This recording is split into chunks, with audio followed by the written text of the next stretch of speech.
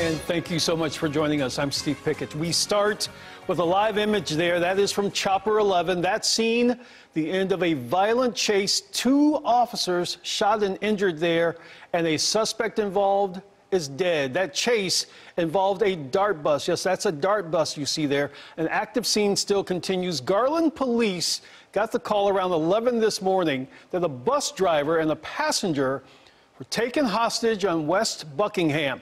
That chase went into several cities before ending on the Bush Turnpike between Liberty Grove and Highway 66 in Rowlett. Now, Erin Jones, she is at that location. This is a big investigation involving several agencies, including, I understand, the FBI.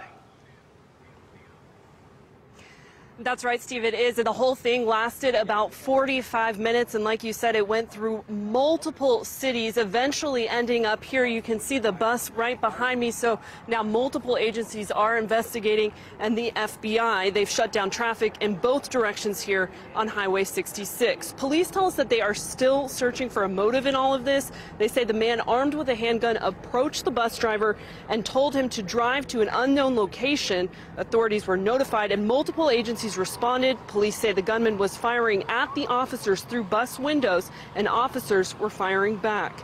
A DART and Garland police officer were hit. They have what's described as non life threatening injuries and are expected to be okay. The driver and the one other passenger on the bus were not hurt.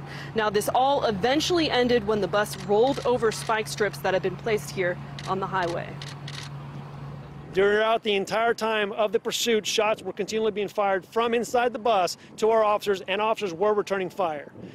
The, the gunman exited the bus, and shots were continuing being fired, and he was struck by our officers.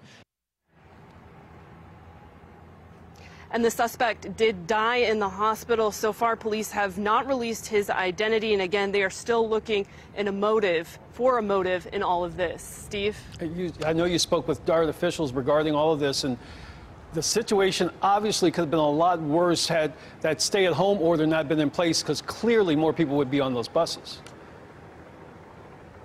Yes, that's one of the things that the DART officials said today. They say their buses have been practically empty lately, and there was only one passenger on board the bus today. They said this was really the best situation, and then police officers, they told us there were not a lot of drivers on the highway here.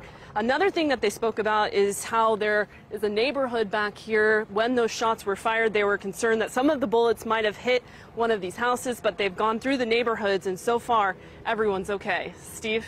A lot more information to come from this, but again, it could have been a lot worse. Erin Jones live at that location. Thank you so very much.